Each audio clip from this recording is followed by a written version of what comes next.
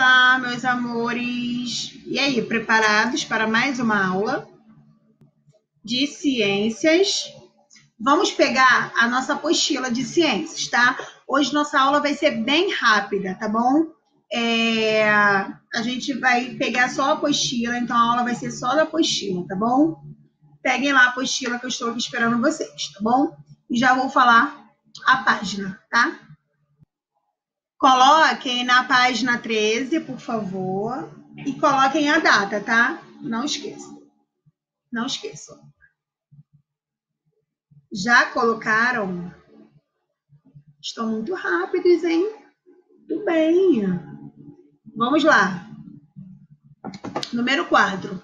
Leia o texto sobre o urso polar. Depois faça o que se pede. Além de proteger o urso polar do frio, seu pelo branco serve de camuflagem. Na ne... de camuflagem na neve quando ele sai à caça de alimento. Suas grandes patas são excelentes para andar na neve e servem como ótimas nadadeiras. O que quer dizer camuflagem? Ó, é o tipo de adaptação ao ambiente. Animais camuflados se parecem com o ambiente em que vivem e pode passar despercebidos, tá? Por exemplo, o urso polar, né? Ele é branco, ele é muito branco, e, a, e com a neve, que é muito branca. Então ele passa despercebido, ele fica muito igual, a cor fica muito igual, então você não consegue é, ver, na verdade, não consegue ver e ele passa despercebido. Eu botei, eu peguei aqui alguns exemplos de outros animais que eles é, são bem parecidos com o ambiente em que eles vivem e que eles se camuflam, tá? Que é, é como se eles se escondessem, tá? Naquele ambiente. Eu separei para vocês aqui, ó. Estão vendo? Aqui, ó. Tá aqui o animal.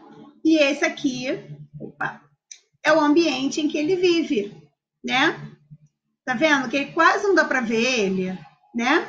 Então, aqui também tem outro, ó. É bem da cor dele, tá vendo? Aqui também tem outro, ó.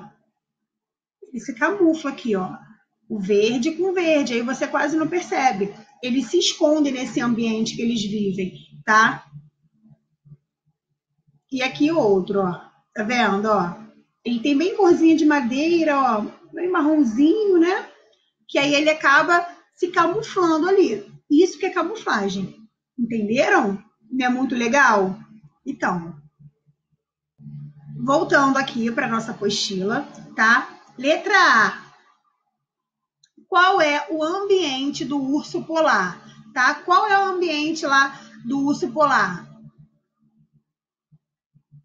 Não posso falar.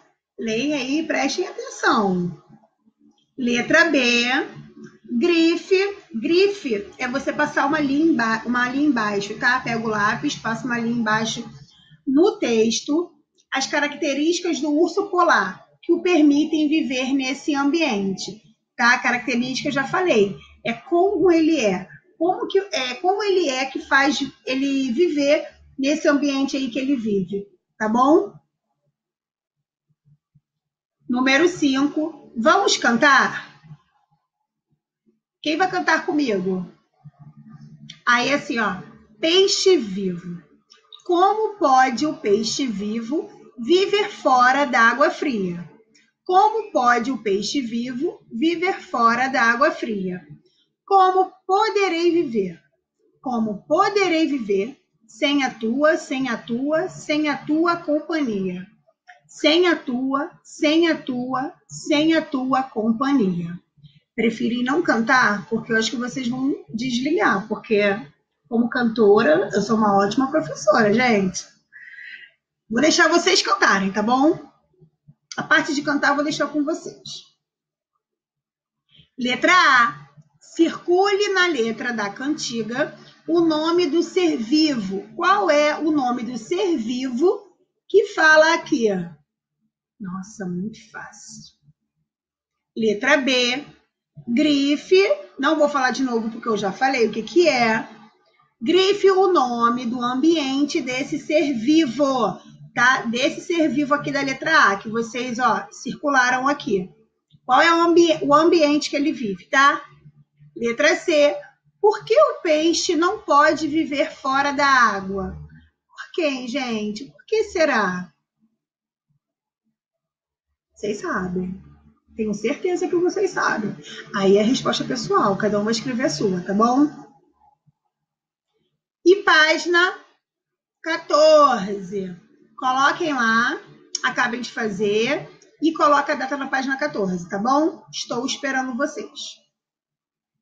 Vamos lá? Então, quem são os seres vivos? Você estudou que existem diferentes seres vivos em nosso planeta.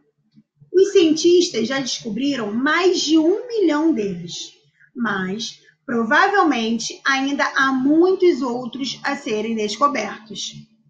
Observando as semelhanças e as diferenças entre os seres vivos, os cientistas elaboraram alguns critérios para classificá-los e organizá-los em grupos.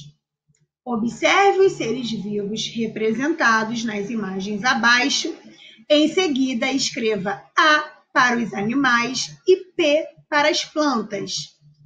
Ó, aranha de jardim. Ela é o A de animal ou P de planta? A macieira. O gato. A borboleta a roseira e a samambaia, tá? A para animais e P para plantas, tudo bem? Fácil, hein? Agora, organize esses seres vivos em dois grupos. Ó, os que forem, os que forem os animais, vocês vão colocar aqui. E os que forem plantas, vocês vão colocar aqui, tá bom? Ó, grupos. 1. Um, que critérios você utilizou para classificar esses seres vivos em animais ou plantas? 2. Você conhece algum ser vivo que não tem características de planta nem de animal? Cite um exemplo. Tá bom?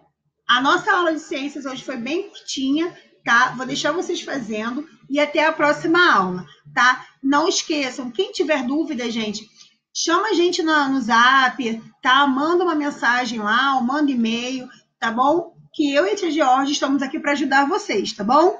Continuem estudando, tá? A gente está gostando muito de ver vocês estudando, tá bom? Um beijo, até a próxima aula, tá? Fiquem com Deus.